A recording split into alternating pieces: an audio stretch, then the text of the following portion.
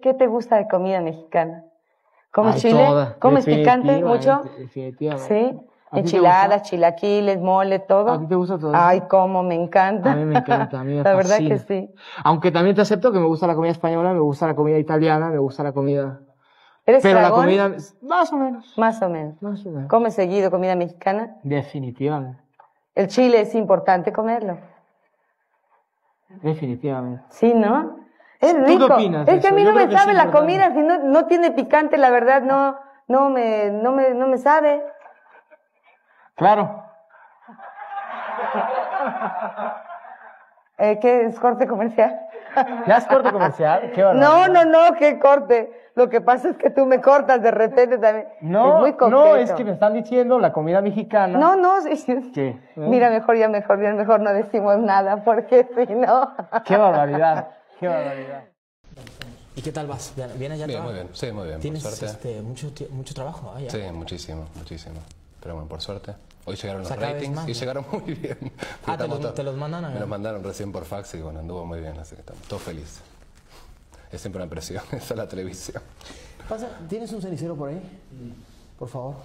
Aparte tenemos que aclarar, obvio, bueno, obviamente la gente lo sabe, acá se habla portugués, digo, estás cantando en, en castellano y estás ahí en el, el top 10, de, en el top 5 aparte de, de los cantantes más vendidos de acá de Brasil. Sí. Y estás en otro idioma acá. Me estaban, me estaban comentando de que estaban eh, en las listas en portugués una canción mía en español y, y me llamó mucho la atención porque toda la lista es eh, eh, con cantantes en, en portugués, ¿no? De Brasil y la, la canción, o tú ninguna, que es la canción que lanzaron como segundo sencillo, resulta ser que está en un lugar muy importante dentro de la lista. Y eso a mí me, me sorprende y me llena de, de emoción, eh, porque es evidente de que la música no tiene fronteras, es universal. Toda- Bueno, nos encontramos en Nueva York con Luis Miguel, ¿cómo estás tanto tiempo? Tanto tiempo. ¿ah? ¿Vos qué usas para enamorar a una mujer? Por ejemplo, ¿boleros también o...? Los tuyos no creo, porque queda... Vamos a escuchar mis temas. Escucharte, sin criticarte.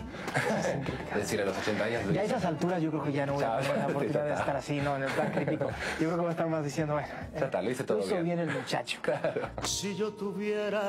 Estoy contento, sé que además en Argentina les ha gustado mucho el disco, lo cual me llena de ilusión y, y, bueno, y, pues me, me da mucho más ganas el estar, el estar allá lo antes posible y, y, pues ofrecerles algunas canciones, porque desgraciadamente no voy a poder todas, si no el show sería de cuatro horas, ¿no? A la gente le gusta, yo me lo estoy disfrutando mucho a pesar de que son, sí, dos horas y media. Ya, un poquito.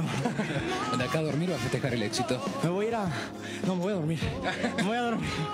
Me voy a dormir porque Es estoy, increíble. estoy muerto. ¿Cuál es tu mejor comida?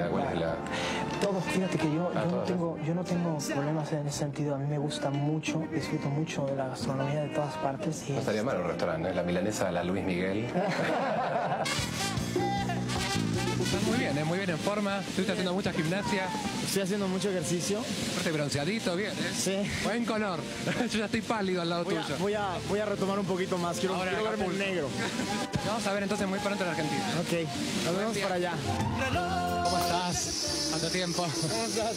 ¿Todo bien? Bien, gracias. Allá te veo, Sombra. Sombra, eres Sombra. Para mí no eres mal, ¿eh? Yo lo sé, yo lo sé. Bueno, gracias. ¿Estás grabando ahí? un saludito, ¿eh? Reitero la pregunta, si tú te consideras como un chico malo, un chico malcriado, un chico capaz de lastimar a alguien. No, no soy capaz de lastimar absolutamente a nadie, siempre y cuando no me lastimen a mí, ¿no? Yo creo que uno, uno debe tener su temperamento, ¿no?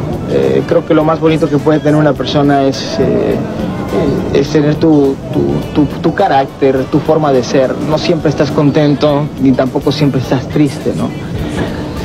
Pero sí, pues hay que defenderte, ¿no? Cuando te atacan. Y también te tienes que reír cuando te hacen una broma. Yo creo que eso es, yo creo que las dos cosas es importante que una persona sepa valorar.